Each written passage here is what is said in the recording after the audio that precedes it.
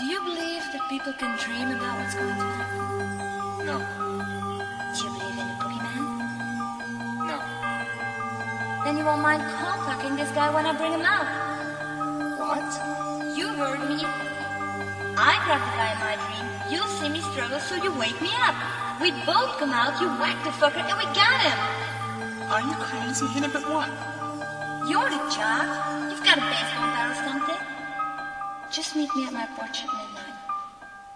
Oh, and meanwhile, Meanwhile? whatever you do, don't fall asleep.